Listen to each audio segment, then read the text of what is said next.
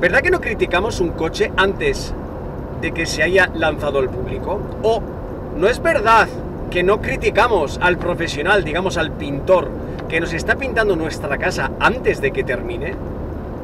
¿Y qué pasa con los videojuegos? ¿Por qué la prensa valora antes de que tengamos nosotros, que al fin y al cabo somos los potenciales compradores, el resultado final? Queriendo hablar de valoraciones de prensa, queriendo hablar de notas, calificaciones, de páginas, rankings de videojuegos. Muy buenas navegantes, hoy es un grandísimo día para estar con vosotros, por eso bienvenidos al canal, esto es Video Bitácora.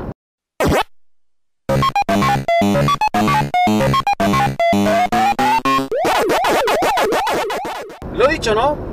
No criticaríamos el trabajo que están haciendo en la autopista por la que voy yo ahora, mientras estén en obras, no podemos decir qué mal asfaltado está cuando todavía no han terminado de asfaltarlo. No podemos criticar al pintor que nos estaba haciendo la chapuza en casa antes de que nos diga, oye, ya he terminado. ¿Y qué, qué manía tenemos entonces de dar nuestra valoración preliminar? Y no hablo ya de los consumidores, hablo ya de la prensa cuando el producto ni siquiera es el producto final, cuando el juego no ha terminado siquiera su desarrollo, cuando muchas veces incluso se evalúan betas cerradas. Y eso nos da siempre a equívocos a los que realmente somos los potenciales compradores, los clientes finales, ¿no? Vemos una, una valoración negativa y ya no estoy hablando de usuarios, de haters, de fans. No, no, no, no, no, no, no. Estoy hablando de prensa. Y es que eh, eso nos da, como decía, a muchos equívocos, nos lleva a conclusiones equivocadas precisamente porque nosotros tampoco tenemos la ocasión de probar ese producto final que otros ya están valorando, que otros ya están incluso criticando, ¿no? Son tiempos nuevos, son tiempos nuevos en los que la industria, la propia industria del videojuego, ha avanzado a vamos a decir, pasos realmente agigantados, ¿no? Antes teníamos que la mayoría, quizás ahora también, pero no somos la mayoría, desplazarnos a una ubicación, a una población que ni siquiera es la nuestra, o era la nuestra en este caso, a comprar un juego, a ver siquiera el juego y poder tenerlo en la mano antes de comprarlo. Pero en aquella prensa escrita leíamos las valoraciones, me estoy trabando, tío, leíamos las valoraciones nunca de productos alfa ni beta, sino ya veíamos productos largamente testados y probados y aquellas valoraciones son las que recibíamos. Pues nos acercábamos, como he dicho, a aquellas tiendas, íbamos a patita, cogíamos el tren, el coche, el autobús, el avión si hacía falta, nos acercábamos a aquella tienda y comprábamos el juego final, ¿no? No había actualizaciones, no existía la manera de actualizar el contenido de un cartucho ni de un compact disc de la época y mucho menos, mucho menos aquellas cintas de casete que comprábamos cuando teníamos los ordenadores de 8 bits, ¿no? Y lo dicho, hoy en día podemos comprar juegos completamente digitales sin siquiera salir de la habitación en la que tenemos nuestro PC, nuestra consola o aquello que incluso una tablet, un teléfono móvil, cualquier dispositivo con conexión a internet, ¿no? La cosa es que muchas veces estos productos que compramos vienen incompletos. Es decir, la premura de las empresas, de las, desarrolladoras, para empezar a monetizar ese producto que hoy en día es de un coste económico y un coste material de recursos humanos bestial y la real necesidad de empezar a monetizar esos, esos productos muchas veces en estado beta, como hemos visto con No Man's Sky, por poner quizás el ejemplo más práctico y de los últimos en suceder este desastre previo, nos fuerzan a realmente no poder valorar el producto final, ¿no? De, realmente no tener siquiera el producto final hasta meses más tarde del lanzamiento, aún en desarrollo, ¿no?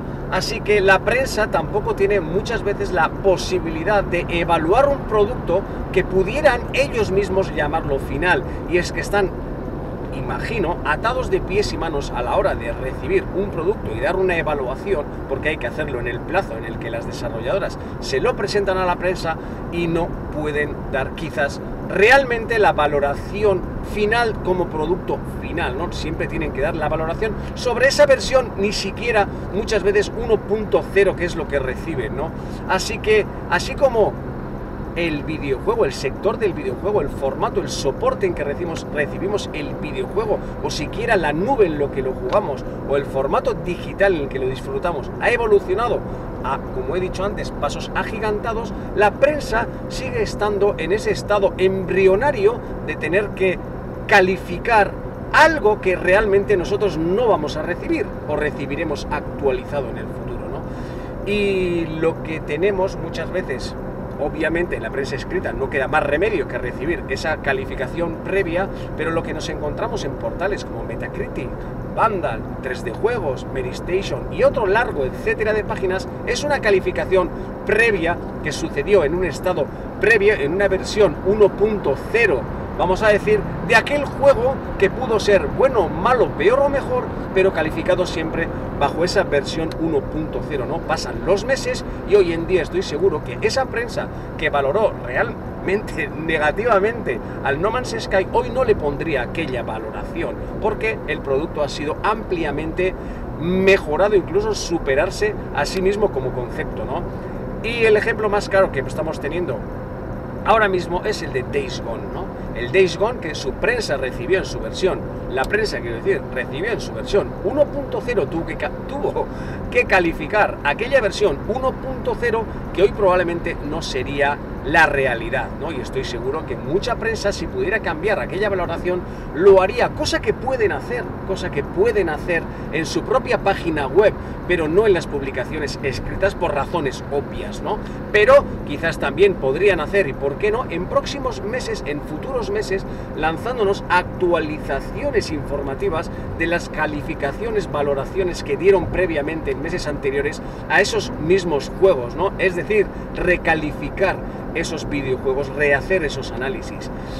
Cosa muy fácil de solucionar si los análisis fueran un producto vivo dentro de lo que serían las plataformas digitales y más complicado en las plataformas escritas en prensa tradicional, ¿no? Y lo que estamos viendo últimamente, cosa que normalmente es incluso totalmente lo opuesto en una página como Metacritic, donde no solo usuarios, quiero decir, no solo prensa, sino además usuarios pueden calificar a los videojuegos, está sucediendo lo que normalmente suele ser al revés. Es decir, muchas veces tenemos prensa que califica positivamente a un juego, vamos a decir, más positivamente que los propios usuarios, y los usuarios por temas ya de sea de fanboyismo o haterismo, pues normalmente acaban desastrando las calificaciones porque solo ponen puros dieces o puros ceros por querer hacer daño o favorecer a un videojuego, compañía desarrolladora afín o enemiga, etcétera. Y lo que estamos viendo con el, iba a decir No Man's Sky otra vez, lo que estamos viendo con el Days Gone es el efecto contrario.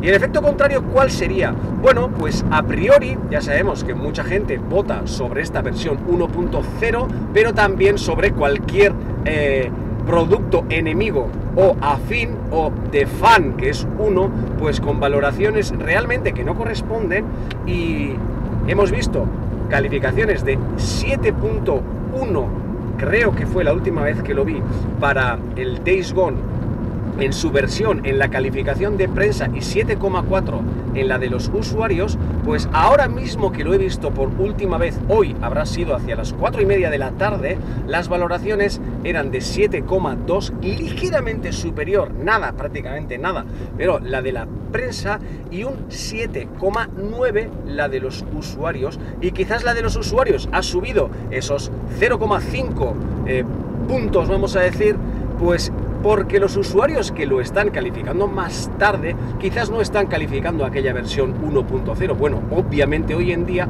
porque la consola actualiza automáticamente el juego según hay actualizaciones disponibles, ¿no? Y están valorando esta versión ya no la previa, sino la de posteriores actualizaciones. Hoy en día, ahora, fecha que estoy haciendo este, este vídeo, en su versión 1.05, me imagino que es ahora, ¿no? Hace poco, cuando yo lo instalé 0.4 y hubo una actualización de ayer, ayer, anteayer, no sé cuándo fue, a la versión 1.05 o 1.5, no me acuerdo ahora exactamente la decimal de la versión. Pero obviamente ya no es aquella versión que la prensa pudo evaluar.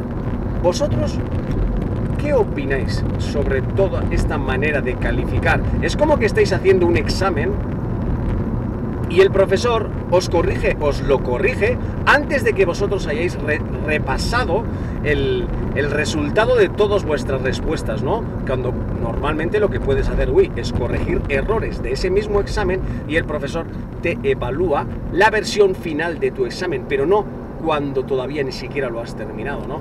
Así que, ¿qué opináis? ¿La prensa debería siempre tener en cuenta estas valoraciones y recalificar a posteriori, es decir, obrar con profesionalidad o con, una, con un rigor que no están aplicando hasta ahora. Es decir, actuar de oficio cuando un videojuego se actualiza con el tiempo, decir, oye, lo vamos a probar de nuevo y vamos a ver si se han corregido aquellos fallos por los que a priori al menos le bajamos, por los que le bajamos la nota. Digamos, vamos a decir, por ejemplo, que el Days Gone sufría de un frame rate inestable y eso hace que la prensa, en su caso hipotético, le hubiera bajado un punto la calificación, ¿no? Vamos a bajarle de un 8 a un 7, ya que pues sufre problemas graves por, me lo estoy inventando, ¿eh? Por eh, falta de un frame rate, frame rate estable, ¿no? Es decir, ahora si la prensa hubiera podido probar este juego, digamos que han arreglado ese fallo, ese bug, ese lo que fuere, y decir, oye, pues ahora que lo estamos probando y aprovechando que dijimos que en aquella ocasión el frame rate era bajo, ahora que se ha solucionado, le vamos a dar ese plus de calificación que en su día se lo quitamos. ¿No sería lo más justo y la manera de hacer ver al cliente final, que al fin y al cabo somos nosotros, que ese juego no era tan malo o no es ya tan malo como a priori resultó ser cuando lo analizó la prensa, ¿vosotros qué pensáis?